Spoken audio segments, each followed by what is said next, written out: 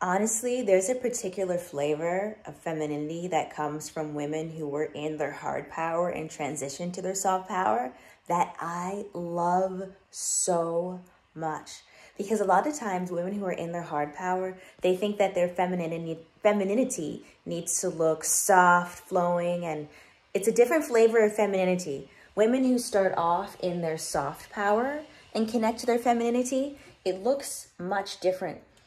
But women who start off in their hard power and connect to their sensuality and their femininity, their full expression, there's a fucking power in it. There's a rawness. There's like a ferociousness. There's like this like wild abandon and this like power.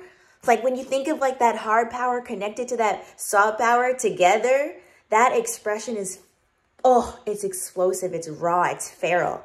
And it's missing in the world.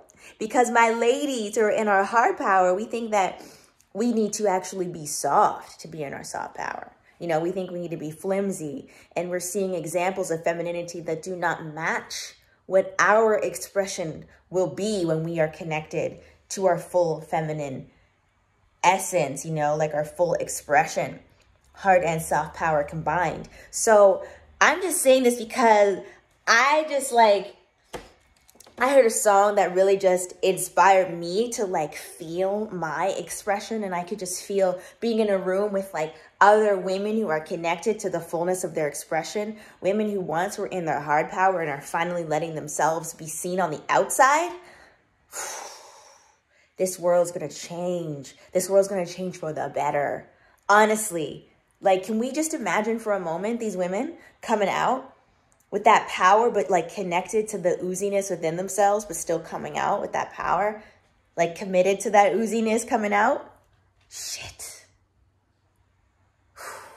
That's fire. That's hot. That's beautiful.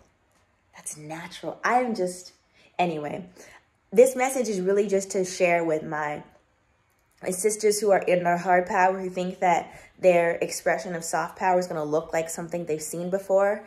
I'm just here to say, no, it will not.